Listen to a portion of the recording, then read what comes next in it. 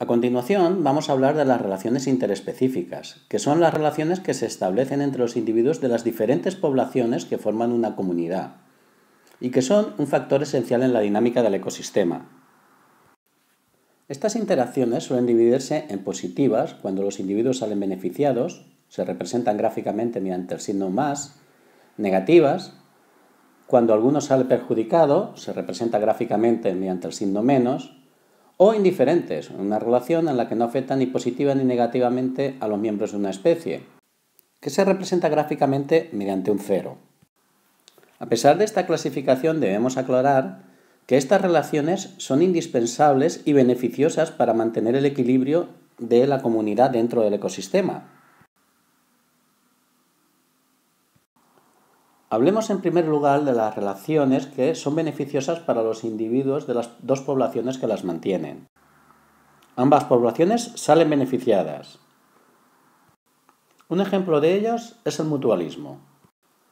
Existe una relación de mutualismo cuando los individuos de las dos poblaciones relacionadas resultan beneficiados, cooperando entre sí para que la sociedad resulte beneficiosa para ambos. Pero dicha relación no es imprescindible, es decir, ambas especies podían vivir por separado.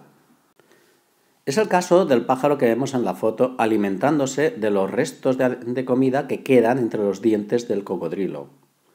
El pájaro obtiene un beneficio, comida fácil, y el cocodrilo obtiene también su beneficio, higiene bucal.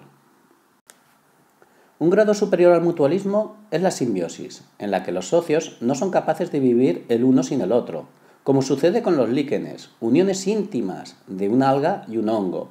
El hongo protege a la alga y le da humedad, mientras que ésta le suministra alimento que fabrica mediante la fotosíntesis. Ambas especies salen beneficiadas de la relación, tanto que ninguna de las dos podría vivir de manera aislada. El ser humano también establece una relación simbiótica con las bacterias que forman la flora bacteriana del intestino grueso. Estas bacterias obtienen su alimento de entre los restos que nosotros no hemos digerido y, a cambio, nos proporcionan algunas vitaminas.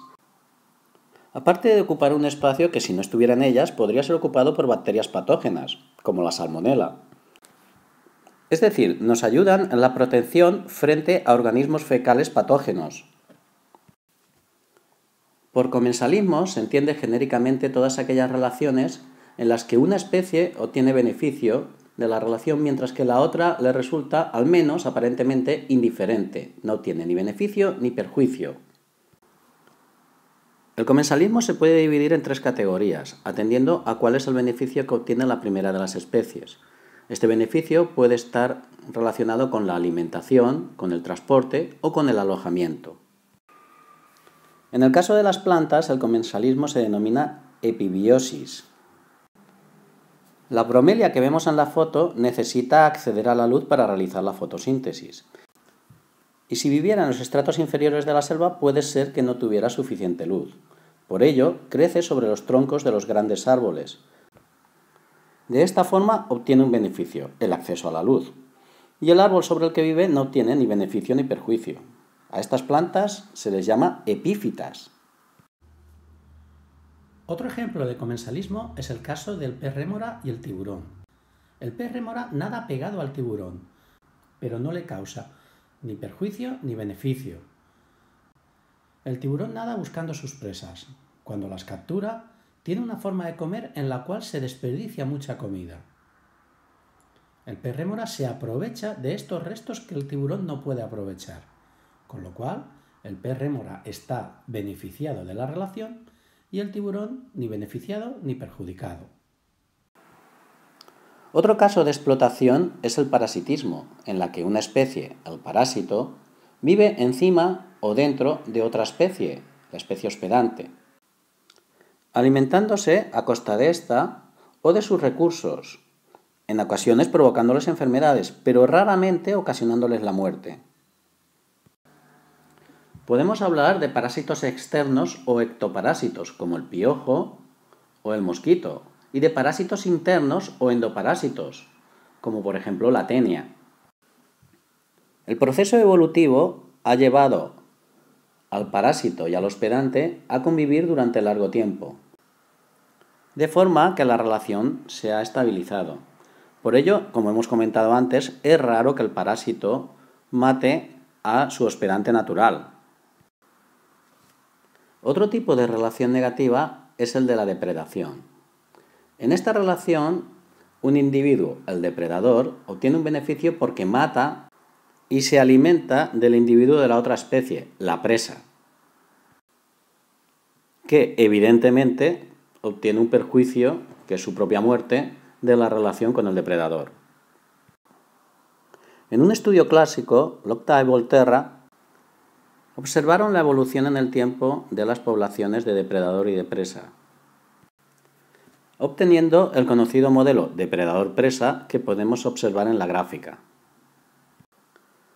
Podemos ver que cuando el número de presas, las liebres, es muy numerosa, los linces, depredadores, consiguen grandes cantidades de alimento. Por lo tanto, la gran cantidad de recursos asegura su crecimiento y su reproducción. De esa manera, el número de linces se incrementará. Pero muchos linces comerán muchas liebres. Por lo tanto, el tamaño de la población de las liebres disminuirá. Ahora hay muchos linces que tienen pocos recursos. Por lo tanto, serán víctimas de un incremento de la mortalidad debido a enfermedades, debido a la inanición, y el tamaño poblacional de los linces disminuirá. Las presas, sometidas a menor presión por predación, verán incrementado su tamaño poblacional. Obtenemos otra vez la situación inicial de muchas liebres para pocos linces, con lo cual el tamaño de los linces se incrementa. La repetición de estas situaciones a lo largo del tiempo genera unas fluctuaciones en el tamaño poblacional tanto de los depredadores como de las presas. Pero dichas fluctuaciones se encuentran desplazadas en el tiempo, ya que no suelen coincidir el máximo del tamaño poblacional de los depredadores con el máximo del tamaño poblacional de las presas.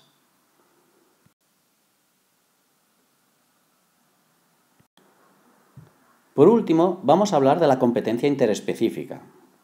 Esta se establece entre dos especies que utilizan el mismo recurso. Como ya comentamos anteriormente, los recursos en el medio ambiente son limitados. Por lo tanto, dos especies que vivan en el mismo ecosistema y utilicen el mismo recurso no lo compartirán, sino que competirán por él. Cuando los individuos de la primera especie acceden al recurso, no se lo dejan a la segunda especie. Pero no siempre será así. Alguna vez los individuos de la segunda especie conseguirán el recurso. De esta manera, las dos especies se encuentran perjudicadas. Su situación sería mejor si solo una de ellas se encontrara en el ecosistema. Algunos experimentos clásicos han estudiado la competencia entre dos especies que comparten un mismo recurso. Es el caso de los experimentos de Gauss con paramecios. Gauss estudió cómo evolucionaba la población de dos paramecios que hacía crecer en medios de cultivo en botes separados, el Paramecium caudatum y el Paramecium aurelia. Cuando se dejaba crecer a uno de estos paramecios en un medio de cultivo durante unos días, la población de este paramecio crecía hasta que se llegaba a un tamaño poblacional máximo alrededor de los 800 individuos por medio de cultivo. Pero, si se introducían las dos poblaciones de paramecio en el mismo medio de cultivo, ambas poblaciones debían competir por los recursos. En este caso, Paramecium aurelia era más eficiente por el acceso a los recursos, con lo cual tendía a conseguirlos y por lo tanto a llegar a su mayor tamaño poblacional. Por contra, Paramecium caudatum es menos eficiente en el acceso a los recursos, con lo cual su población tiende a desaparecer con el tiempo. Así pues, las dos especies se encuentran perjudicadas por la competencia. Paramecium caudatum porque tiende a desaparecer y Paramecium aurelia porque tarda más en llegar a su máximo tamaño poblacional. De este experimento se dedujo que dos especies que compiten por el mismo recurso no pueden convivir en el mismo hábitat. Es lo que se denomina principio de exclusión. El principio de exclusión por competencia también se puede observar directamente en la naturaleza. Veamos un ejemplo. Dos especies de balano pueden vivir pegados a rocas en las zonas intermareales. Sus nichos potenciales, el lugar en el que pueden vivir, son amplios. En el caso de Tamalus, van desde el lugar de la pleamar máxima hasta la zona de la máxima bajamar. En el caso de Simibalanus, su nicho potencial, es decir, el lugar en el que puede vivir, va desde la pleamar mínima hasta la bajamar máxima, es decir, ambas especies se podrían encontrar en la misma roca compartiendo su nicho. Pero esto no sucede en la realidad, ya que, por competencia, una especie excluye a la otra. Y podemos ver que los nichos reales son mucho menores que los nichos fundamentales o potenciales.